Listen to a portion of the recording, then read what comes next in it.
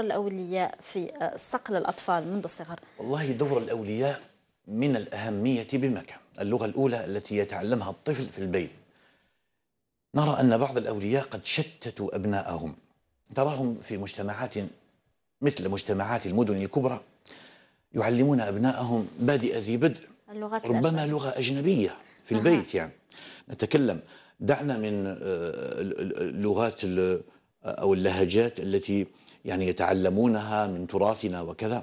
مع ذلك يضيفون له لغة أجنبية. ونحن لنا تجارب كثيرة مع هؤلاء. ندرسهم أنت كأستاذ في اللغة العربية نعم. تلاحظ أنه هناك الكثير من التلاميذ يعني تكوينهم يأتيك مثلا التلميذ- فرنكوفوني أو نعم. أساسا. فلم يتعود آه، يعني جهازه الصوتي على على استقبال العربية وعلى نطق العربية. فيجد مشكلة في الأول. يعني الطلبة الذين درسوا في المدارس القرآنية يلتقطون المعنى والمبنى وينطلقون في كل المواد.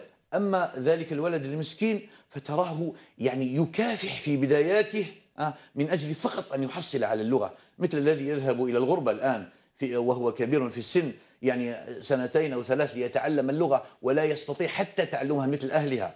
ذلك الولد نفس الشيء. يعني تبقى له مشاكل ربما طوال حياته وهو يعاني من ذلك. لذلك لو تعلمها في بداية الأمر وهو غض طري في مرحلة لأن آه، نحن نعلم أن علماء النفس يقولون كل شيء يتم قبل سبع سنوات.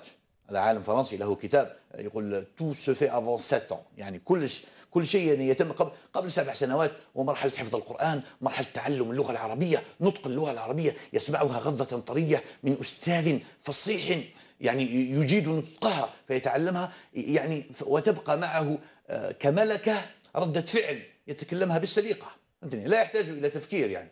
وهنا يبدأ الإبداع، أما إذا كان يفكر ويستدعي الكلمات في كل الإشكال. فهذا يضيع ولا يجعله يركز على المواد تركيزا جيدا علينا أن نعنى وأن نعتني باللغة العربية في مرحلة التمدرس الأولى وما قبل التمدرس خاصة في البيت فإخواننا الأولاد